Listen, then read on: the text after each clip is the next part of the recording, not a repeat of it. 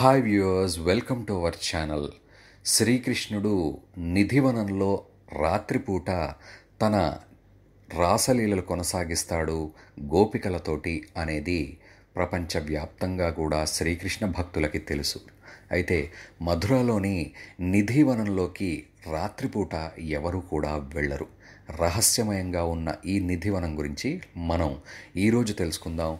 ముందుగా మీరు మా ఛానల్ని సబ్స్క్రైబ్ చేశారా? లేదు అంటే చేసుకోండి. బోలెడన్ అప్డేట్స్ రెగ్యులర్గా మీకు అందుతూ ఉంటాయి. శ్రీకృష్ణుడు మధురలో ఉన్నాడు. అయితే పెరిగి పెద్దవాడయ్యాక మధురకి ఎప్పుడైతే షిఫ్ట్ అయ్యాడో అక్కడ గోపికలతోటి రాసలీలలు నెలకొల్పాడు అనేది భక్తుల విశ్వాసం.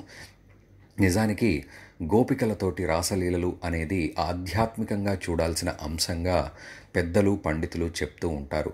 ఏదో రాసక్రీడలు రాసలీలలు అంటే నేటి కాలంలో వచ్చే అర్థం కాకుండా అది ఆధ్యాత్మిక రాసలీల అనేది ఒక గొప్ప ఆవిష్కరణగా ఒక గొప్ప ఆధ్యాత్మిక విషయంగా సంపదగా చెప్తూ ఉంటారు మన పెద్దలు. సో ఆ రకంగా అర్ధరాత్రి అంటే సాయంత్రం గడిచిందంటే చాలు. నిధివనం వైపు తలుపులన్నీ మూసేస్తారు లైట్లు ఆఫ్ చేస్తారు.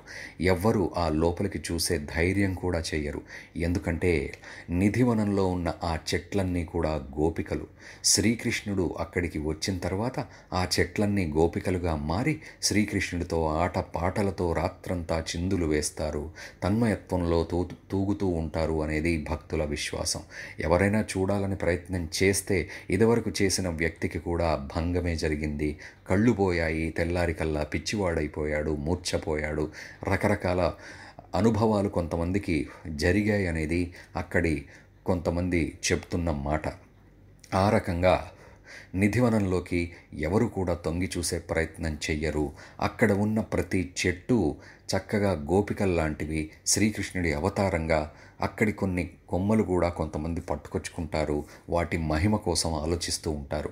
సో మీరు కూడా మధుర వెళ్ళినప్పుడు అక్కడ నిధివనంలో ఉన్న ఆ చెట్లను దర్శించుకోండి. నిధివనంలో ఉన్న శ్రీకృష్ణుణ్ణి గోపికలను ఒక్కసారి మీ కనులారా మీ మనస్సుతో ఊహించుకొని చూసి దండం పెట్టుకొని రండి. అంతా మంచే జరుగుతుంది.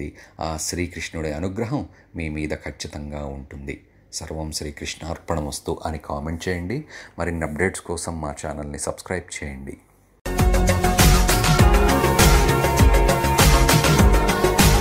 మరిన్ని అప్డేట్స్ కోసం మా ఛానల్ని సబ్స్క్రైబ్ చేయండి.